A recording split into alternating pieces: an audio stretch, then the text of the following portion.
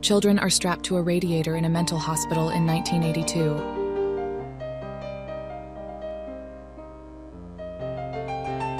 A lunatic's chair, given to patients who had poor behavior or wild outbursts in a Dutch mental hospital in 1938. A daredevil balances on the roof edge of a Manhattan building, perched on a table placed over a chimney, 1910s. Inside a bar at the Table Bluff Hotel and Saloon, Humboldt County, California, 1889. Five teenage girls on an old Ford in Oregon, 1931. Thanks for watching, and don't forget to like and subscribe for more videos like this one.